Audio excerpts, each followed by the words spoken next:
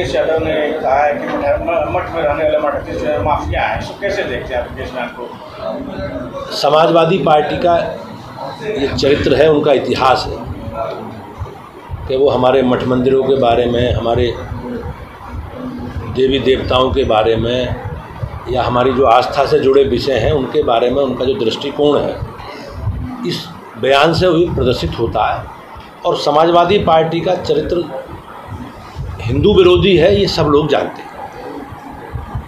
सपा के सांसद हैं उनका कहना है कि मठ चाहे मठ हो चाहे मस्जिद अगर कोई भी गलत काम करता है तो माफिया है। इसको कैसे देखते हैं? निश्चित रूप से संविधान में प्रदत्त व्यवस्था के तहत जो भी लोग अनैतिक कामों में सम्मिलित हैं और हमें लोगों ने चुना है इसी आधार पर हम लोग सबके खिलाफ हमारी सरकार योगी जी के नेतृत्व में, जो दोषी हैं, जो अपराधी हैं, जो अवैध गतिविधियों में संलिप्त हैं, सबके खिलाफ सरकार कार्रवाई कर रही है।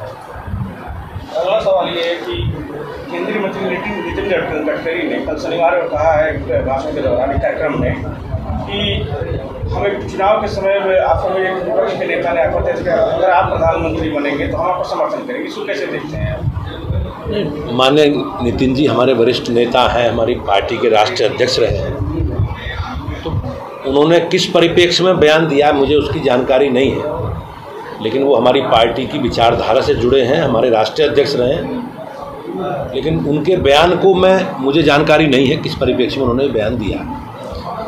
अच्छा बिहार में जो आरजेडी और जेडीयू में वीडियोवाद चल रहा है, इसको कैसे देखते हैं, क्या कहेंगे? लोकतंत्र में सबको अपनी बात कहने का अधिकार। और आरजेडी और जनता दल यूनाइटेड बिहार के दो प्रमुख विपक्षी दल हैं। लेकिन जेडीयू हमारे साथ सत्ता में है, सरकार में है, हमारी एनडीए की सरकार है।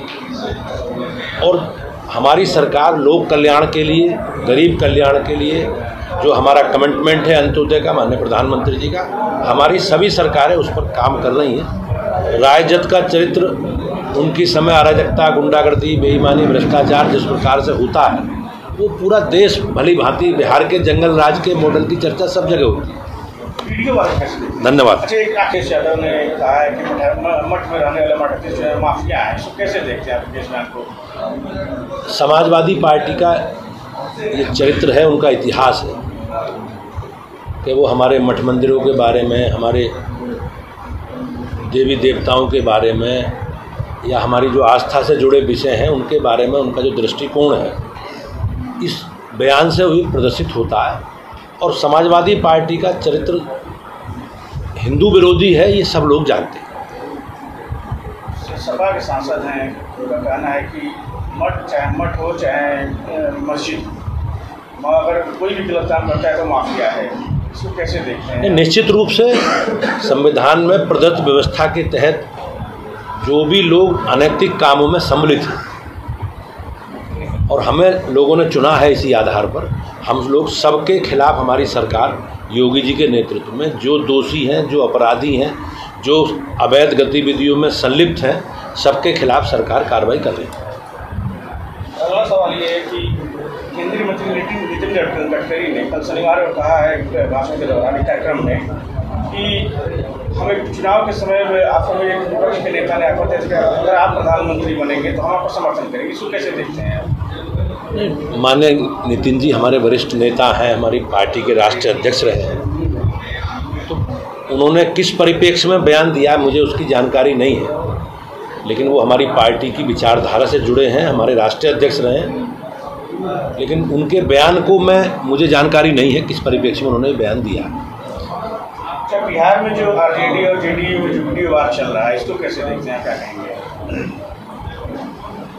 लोकतंत्र में सबको अपनी बात कहने का अधिकार और आरजेडी और जनता दल यूनाइटेड बिहार के दो प्रमुख विपक्षी दल हैं।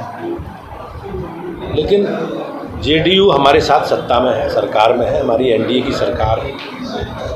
और हमारी सरकार लोक कल्याण के लिए, गरीब कल्याण के लिए, जो हमारा कमिटमेंट है अंत्योदय का, माननीय प्रधानमंत्री जी का, हमारी सभी सरकारें उस पर काम कर रही हैं। रायजत का चरित्र, उनकी समय अराजकता, गुंडागर्दी, बेईमानी, भ्रष्टाचार जिस प्रकार से होता है, वो पूरा देश भली भांति, बिहार के जंगल राज के मॉडल की चर्चा सब जगह होती है। धन्यवाद।